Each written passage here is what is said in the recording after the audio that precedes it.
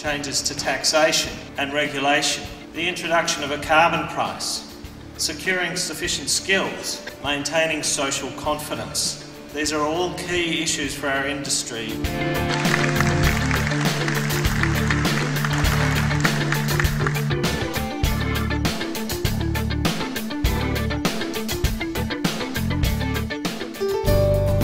You've got uh, just under 3,000 delegates here, which is terrific for South Australia. They're actually focused on the energy revolution.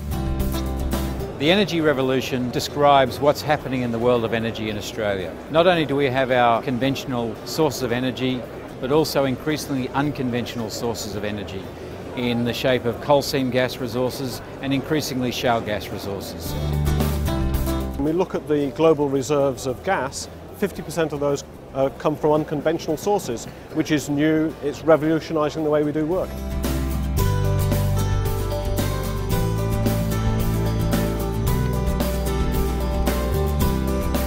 Just think about the jobs and wealth created out of this investment pipeline are just tremendously important to the national interest. This is a cornerstone of Australia's economy. The, the oil and gas industry is fundamental to our economic development. We will be uh, one of the largest, or possibly the largest exporter of LNG by 2016 at 80 million tonnes.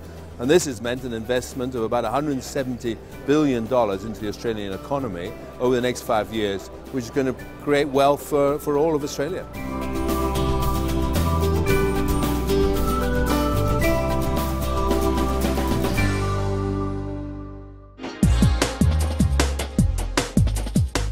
We sometimes forget just how important the oil and gas industry is to Australia.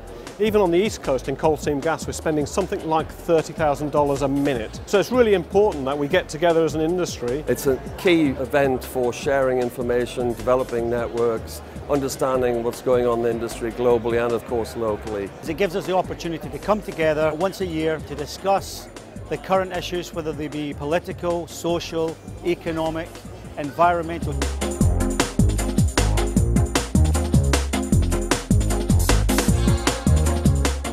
The real importance of this conference is, as an industry, we're moving into a leadership position. Now, we've been sort of in the psyche of Australians, but not been front and centre. We're now front and centre with these huge investments that have been made.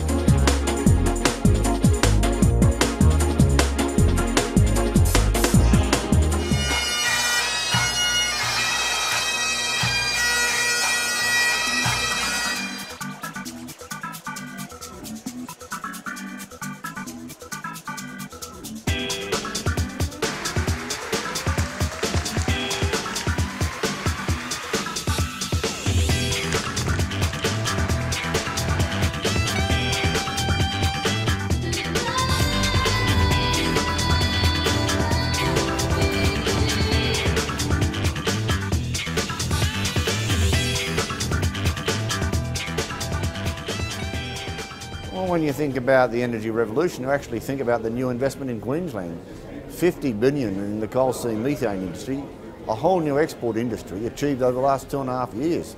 Well, Brisbane is now part of it. We've had a fantastic conference. And what I'd like to do is to invite you all to join us in Brisbane in May 2013. It's the only place to be if you want to know the challenges and the opportunities facing the industry in 2013.